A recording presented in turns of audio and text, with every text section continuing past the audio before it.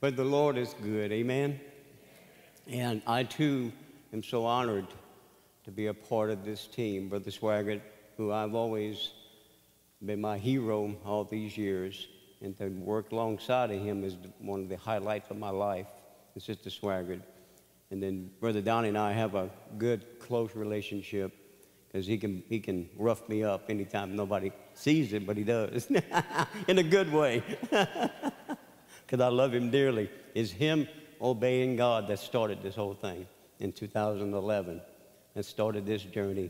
And then Brother Gabe, who's taken that mantle of the cross and taken the mantle of, of Brother Swaggart and, and the whole family to keep it going. We know that if the Lord tarries, that this place is going to be the same for years and years and years and years to come.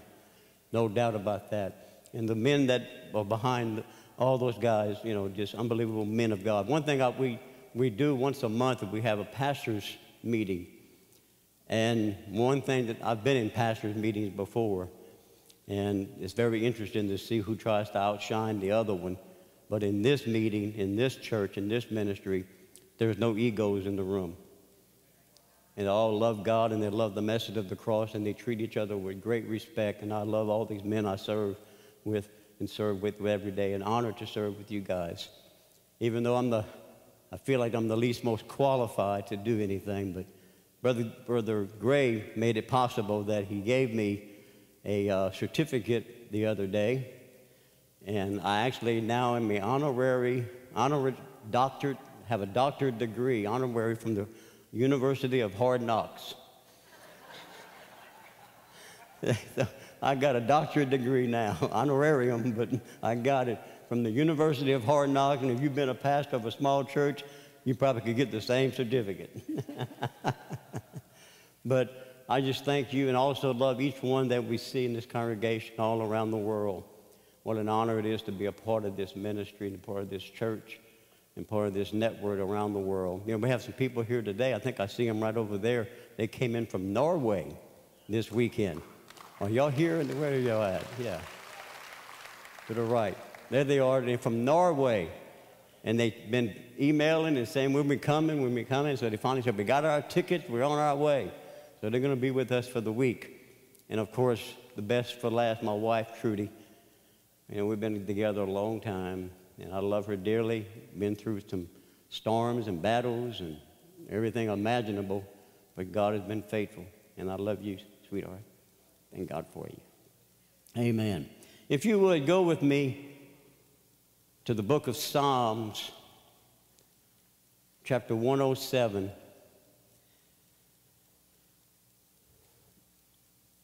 Verse 1, chapter 1, and I mean, verse 1 and 2.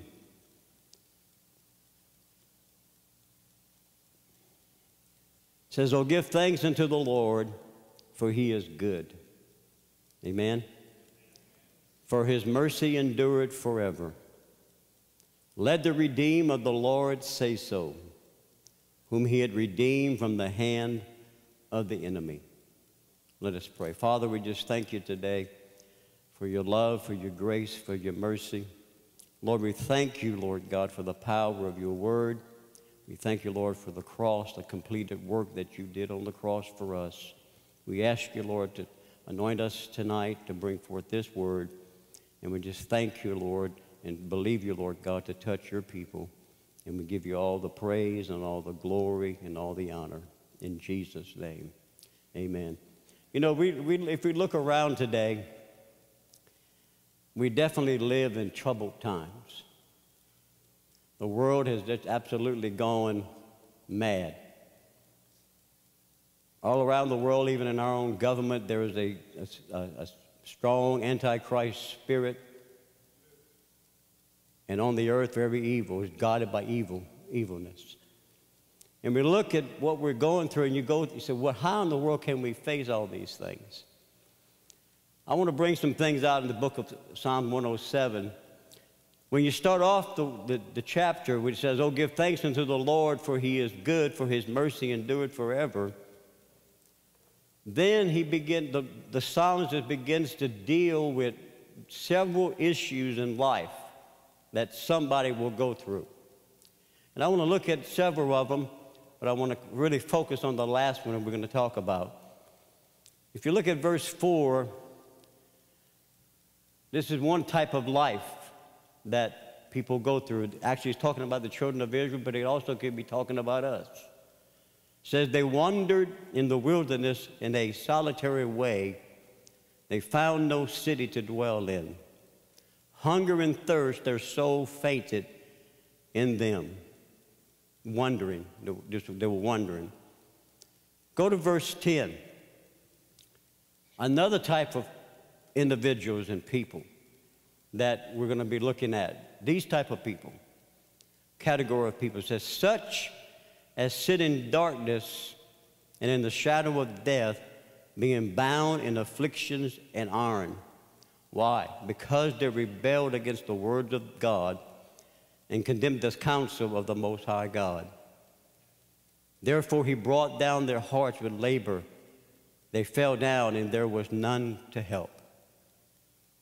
Let's go to another category of people. Verse 17. Fools, because of their transgression and because of their iniquity, are afflicted. Their soul abhorred all manner of meat, and they draw near into the gates of death. Then let's go to the verse 23. This type of person. Then they go down to the sea in ship and do business in the great waters. These see the works of the Lord and his wonders in deep. For he commanded and rised the storms, wind, which lifted up the waves thereof. They mount up to their heaven, they go down again into the depths. Their soul is melted because of trouble. They reel to and fro and stagger like a drunken man and they're at wits' end. How many has ever been to that place? And all four of these categories are different situations that they're going through transgressions, just in the wilderness, all these different types of lifestyles, if you will. All are different in its scope, going through different things in their life and scope, but the answer is the same. No matter what category you fit yourself in, or what category you find yourself in tonight, it's the same. The answer is the same. No matter what you're facing, no matter what you're going through. Look at verse 13 for the wanderers. I'm sorry, yes, yes, for the wanderers. Then they cried unto the Lord in their trouble, and he saved them out of their distress. Hallelujah. He brought them out of darkness and the shadow of death and broke their bands in sunder. Oh, that men would praise the Lord for his goodness and for his wonderful works for the children of men. Praise God.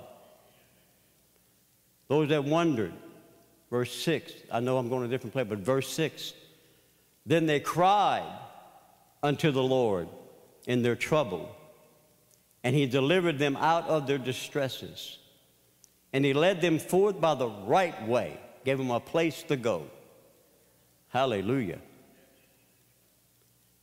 that they might go to the city of the inhabitants. Oh, that men would praise the Lord for his goodness and is for his wonderful works to the children of men.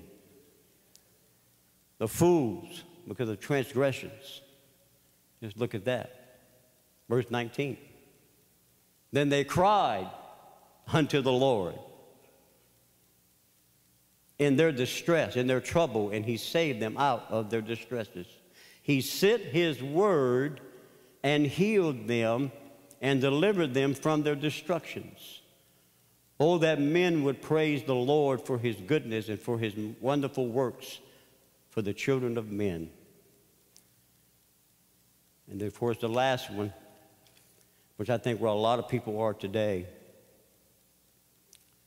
they're at wits' end in life. The situation we see in Israel, the situation we see in our country, the situation we see even in the condition of our church, of the church. But verse 28 says, Then they cried unto the Lord in their troubles, and he bringeth them out of their distresses. He maketh the storm calm. Hallelujah. So that the waves thereof are still. Then are they glad because they be quiet. So he bringeth them unto their des- desired haven. I think this is related to the message of the cross. I believe that this correlates with the message of the cross. No matter what situation you're in, no matter what place you find yourself in, no matter what we saw them finding themselves in, then they cried unto the Lord in their distress. Hallelujah. Let's look at a couple of things. Mark 10, you talk about how God responds to cries. Mark 10, verse 49 through 51, there was a, a blind man called Bartimaeus. And all of a sudden, he heard that Jesus was coming by. And they, and they said, he said, is he, come, is he coming by? Yes, he, that's him. He gets, gets up, he says, Jesus, thou son of David, have mercy on me. He cried unto the Lord in his distress, and the Lord heard him. Not only did the Lord hear him, but the Lord, whoop, stopped turned around and said, Bring him to me. First thing he did, he said, I'm going to forget my past and go to the future. Took his blanket, threw it down, said, I'm not going back that no more. But he cried unto the Lord in his distress. Another time was Peter, at the command of the Lord, said, Peter said, If it be you, bid me to come. So the Bible said that Peter got out of the boat, started walking on the boat, started walking on the water, and he paid attention to the circumstances and difficulties and situations. And he started singing. Then he cried unto the Lord. And the Lord reached down and picked him up. Well, so that's Bible. What, what about now? And the reason why I, I break, you know, I don't like to really repeat a message that I preach. But two weeks ago, my wife and I, and Molly, that's the dog, you know, Molly has to go, you know, she'd be, we, we left Molly behind, she'd be in therapy. Molly had to go, my little five, five pound little runt. Well, somebody found, you know, we have some friends that lives in Tennessee, and you, they used to come here, but they live in Tennessee now, Steve and Charlotte Pennington. And they called and said, won't you stay at our house one night on the way to West Virginia to go on vacation? I said, well, okay, we could do that. So then they called me back and said, we're going, because they were looking for a church, and Charlotte and Steve's criteria is they have to be the church and the pastor has to be a supporter of Jimmy Swaggart Ministries and also preach the cross. Or they're not going there. So that's what she starts the conversation with pastors when she called. When she got through a few of them and got to this one and said, Before we get started, do you believe in the message of the cross and do you support Jimmy Swaggart Ministries? And the guy kind of giggled at her. He said, Well, he said, Yeah. He said, I pastor Jonesboro Church of God. My name is Mike Lusk, and I was in the first class in 1984 for Jimmy Swaggart Bible College. and yes, I preached the cross. Absolutely. And he knows Brother Gray. He, he remembered Brother Gray. And he said that, yeah, he said, so they started going to church there about eight weeks ago. Well, they found, they told him that I was coming by their house, and because watches, he sees us. He said, Well, have Pastor Dale preach. I know he's on vacation, but have him preach on Sunday morning. And they called me back and said, Would you preach? I said, Yeah, I'll, I'll, I'll preach that Sunday morning. You know, I think I have a little church of about 50. And so I, I was preparing myself, you know, for the message, and, and we left out on vacation that Friday. And Thursday morning when I got up, and let me just say, when God speaks to you to do something, it's not because you, He does it because you, He does, not only does it that because you hear from Him, but also because He wants to meet a need. A gift is to be given. So he, the Lord spoke to my heart, said, change your message. So I just took my ribbon, put it in my Bible, and I changed the message. We headed out Friday morning, got to Alabama, stayed in Alabama. I hope nobody disowns me because I did, you know, Alabama, you know. But I stayed in Alabama near Tuscaloosa, too. Terrible. Love you, Alabama. So I'm in, the room, and I just started jotting a few little notes down for the message Sunday morning. Saturday morning, as we're leaving Alabama, I get a phone call, and it's from Charlotte, and she said, You really need to pray. She said, Because Pastor Lusk called me this morning, and their grandson, Friday night, was killed in a head on collision at 28 years old, heading to work. And my first thought was, we're going to really pray for the, you know, pray for the family, pray for the church. And I said, look, I said, you tell that pastor if, if, can't, you know, if you don't have church Sunday, that, that's okay with me. I don't have to preach. And he said these words. He said, God has ordained that a man of God come from Jimmy Swaggart Ministries to pastor my church tomorrow. Sunday while there, he's here. And the message that the Lord gave me was when you have wits in and you're going to and fro, you don't know, you feel like a drunken man, what do you do? How do you, how do you go through this? How do you make it? How do you face it? And that Sunday morning, I preached on this exact text right here, concentrating and when you go through a storm, when you're on water that is just, in, just and you're at wit's end, what do you do?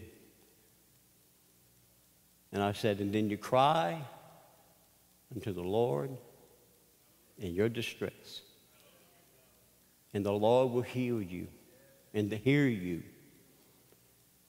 Then I read these verses again. I'll read them to you. He says, and he make the storm calm so that the waves there are still.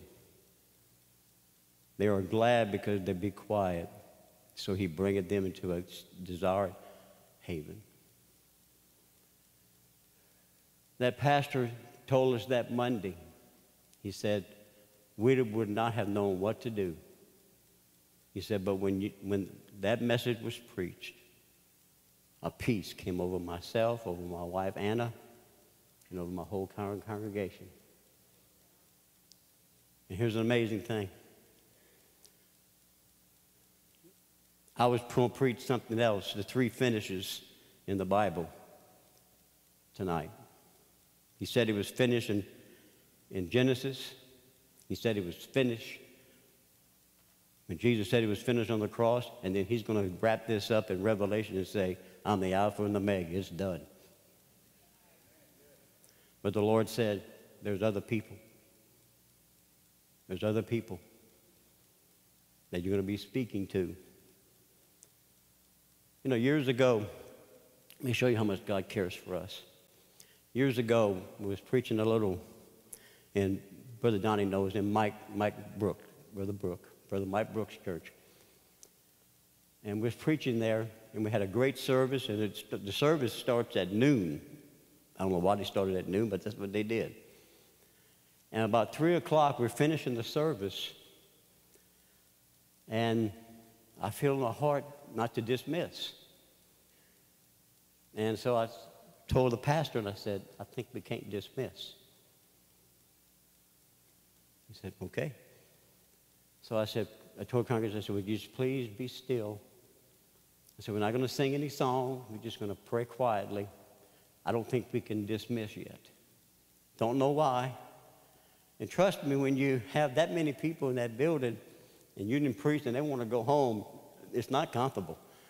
I'm sitting on that platform on the edge of it, and I'm seeing people holding on to their purse wanting to get out of town. And I'm going, please don't leave. I mean, that wasn't comfortable.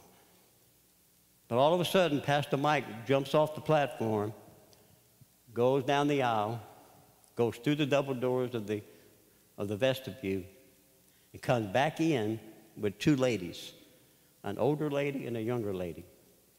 And he points down at them and says, They want to get saved.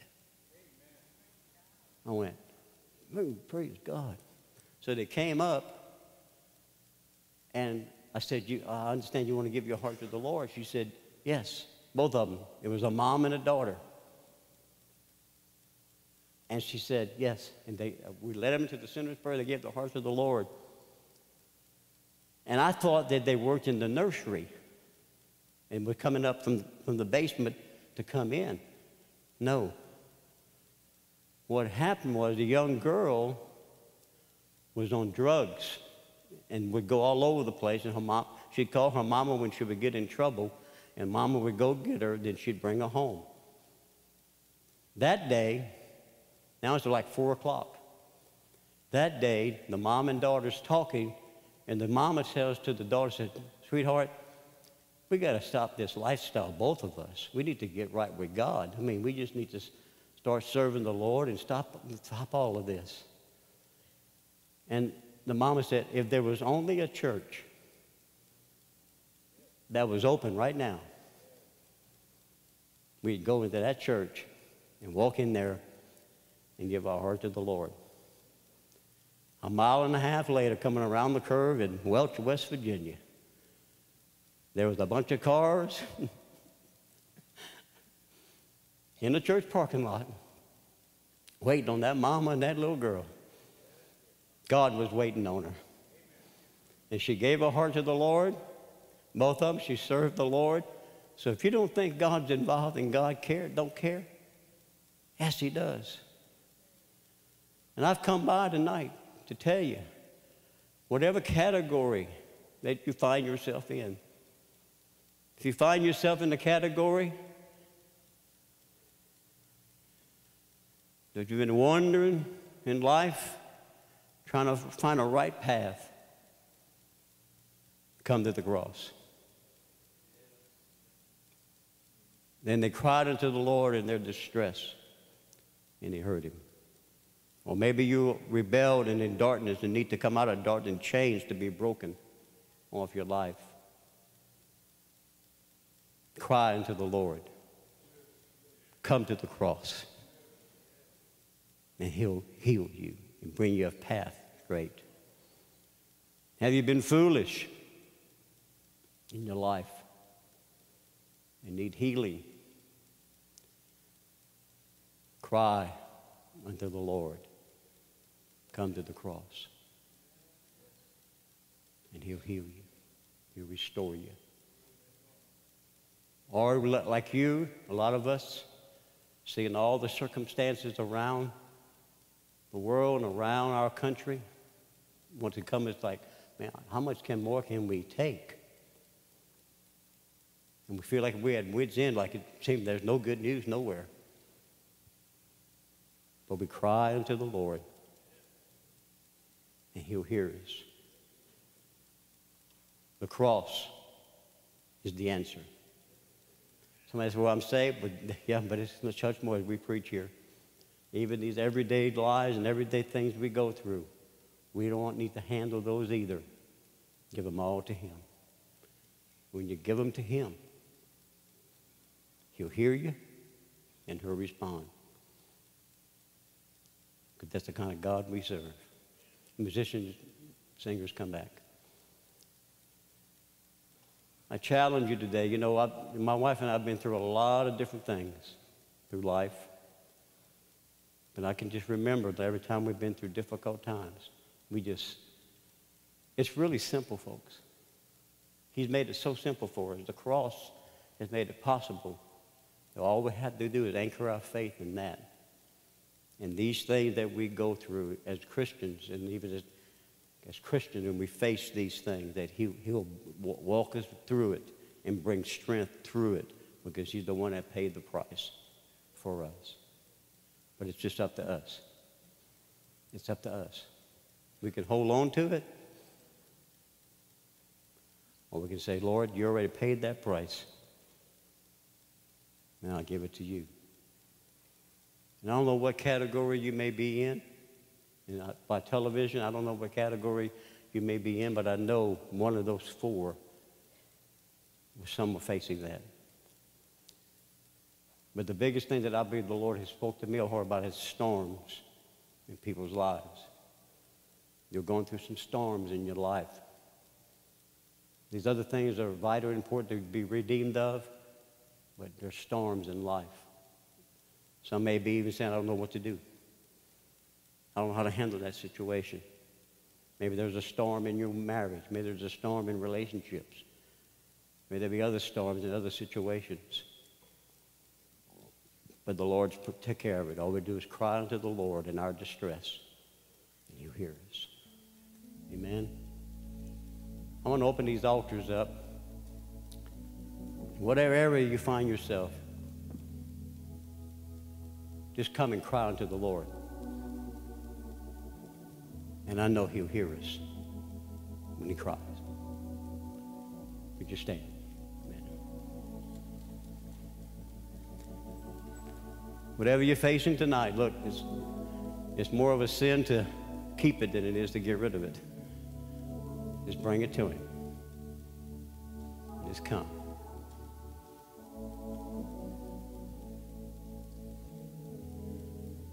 Hallelujah. Jesus, we thank you. We pray. We cry unto you, Lord, for what you did on Calvary. Thank you, Jesus. If I can get our pastors to, okay.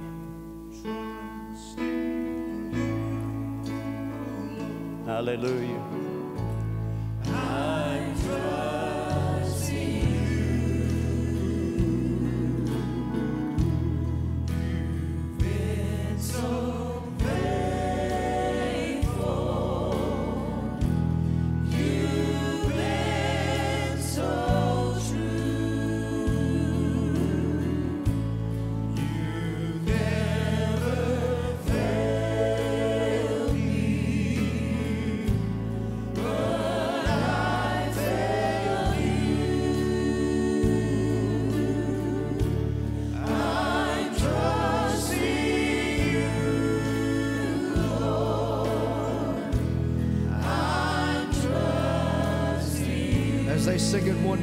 Time, just take this opportunity. Leave your need at the foot of the cross tonight. Just out your heart to Him this evening.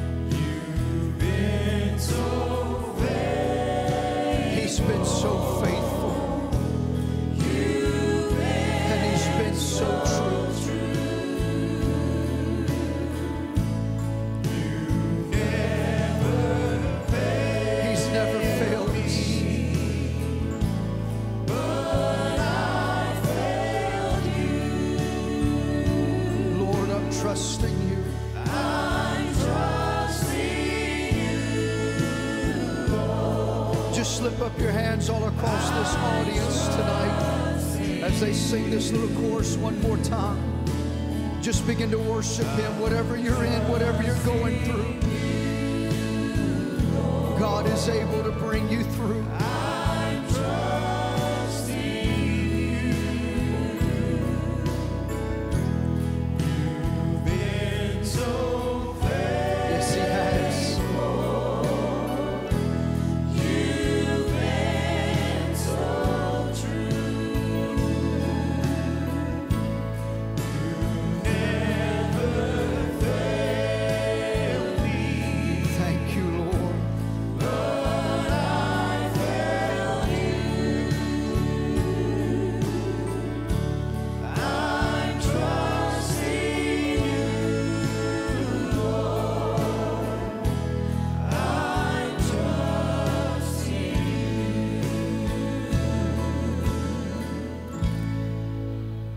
Want you to remember what Pastor Dale said tonight.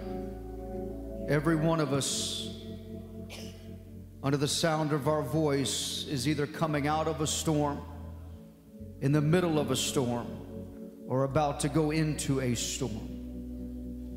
But wherever you may be, the key is is cry unto the Lord, and he will hear your crying. And I believe that he will if you just keep looking to Calvary. He'll never let you go. Amen. Let's give the Lord a hand clap of praise tonight. Thank you, Brother Dale, for that tremendous word.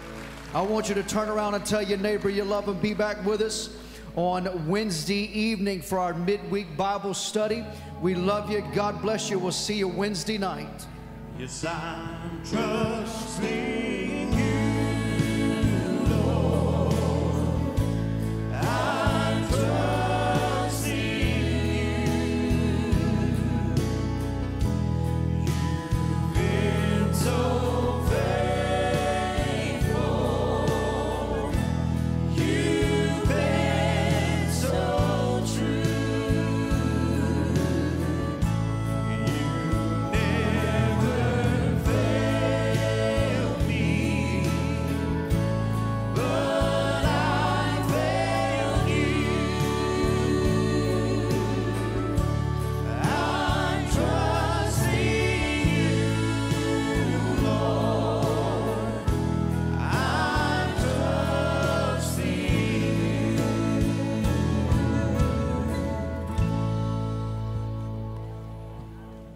hope you were blessed and enjoyed this live service from Family Worship Center. Family Worship Center, located in Baton Rouge, Louisiana at Jimmy Swaggart Ministries, holds three services weekly Sunday morning at 10 a.m., Sunday evening at 6 p.m., and Wednesday at 7 p.m., all Central Time. All services are broadcast live on the SonLife Broadcasting Network, SonLife Radio, online at sonlifetv.com, and on the free SBN Now app. To join the Family Worship Center Media Church, call 1 800 288 8350 or join at jsm.org. Live services are produced by the SonLife Broadcasting Network.